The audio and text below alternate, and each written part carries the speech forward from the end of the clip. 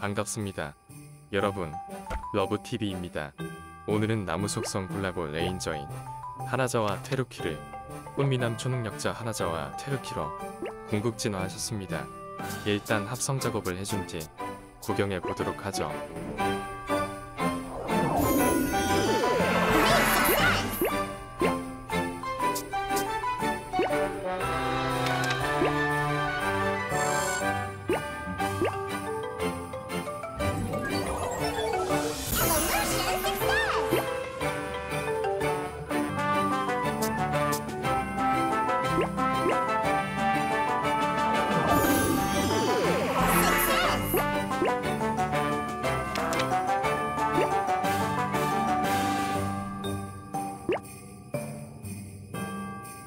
Success!